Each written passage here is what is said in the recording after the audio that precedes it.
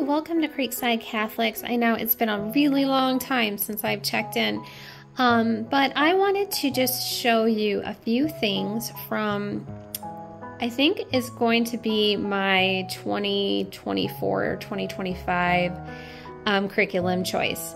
Um, it's I'm falling in love with all of these books. Um, it's St. Jerome Library and School. It is traditional Catholic.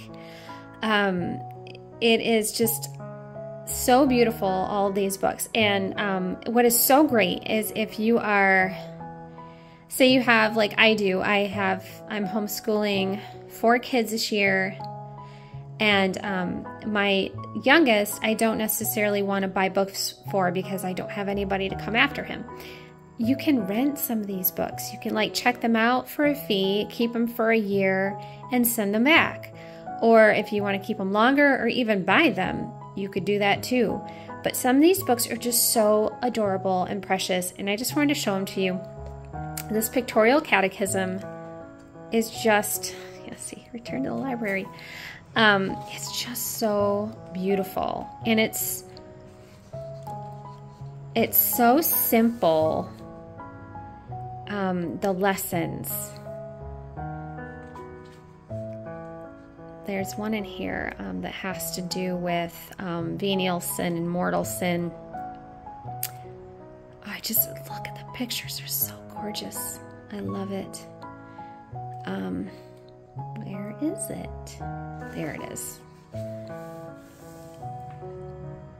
And my son is funny because he'll say, You read the the stuff in the black and he goes and then I read this which is great you know it's so cute um, but he really liked this part.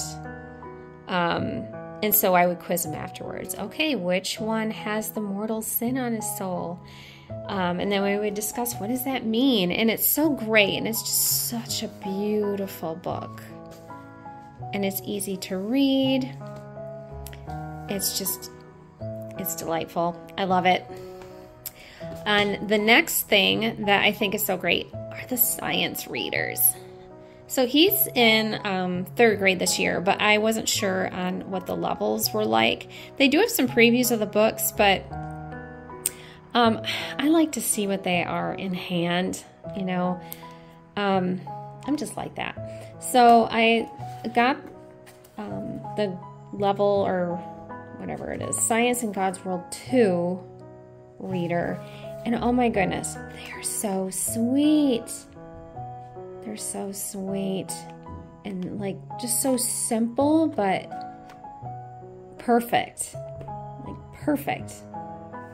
And grade three, which my son is in grade three, and I wanted him to, um, I wanted to see what it was like so I would know whether or not he should go right into the um, Science of God's World 4 next year. And I think he totally can.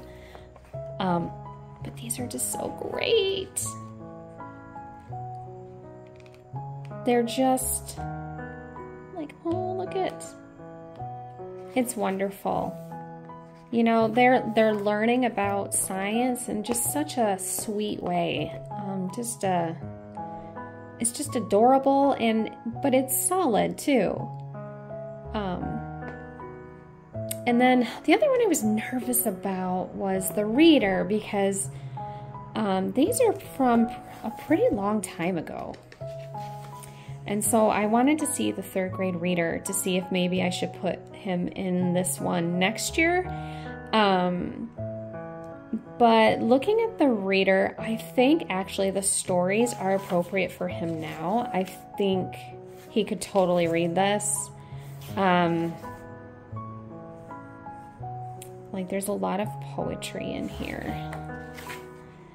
Um, there might be like some names and stuff like rally. He might not know that. But for the rest of it, I think he could completely read this no problem um, this year. And we'll see because he'll be doing it this year. But anyway, um, I just wanted to know again, I had to have it in my hand to see if, you know, he should use it for fourth grade or not. But um, I just wanted to like show you a little bit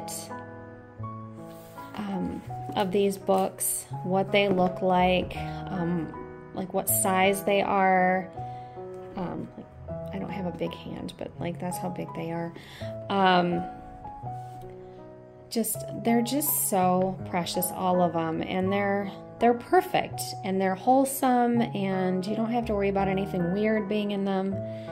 Um, and hopefully next fall I will have a whole unboxing for sixth grade and fourth grade to show you. So um, just stay tuned for that and have a very blessed school year. And I'll put the uh, link below for St. Jerome School and Library. It's actually library and school. anyway, um, take care. God bless. Bye.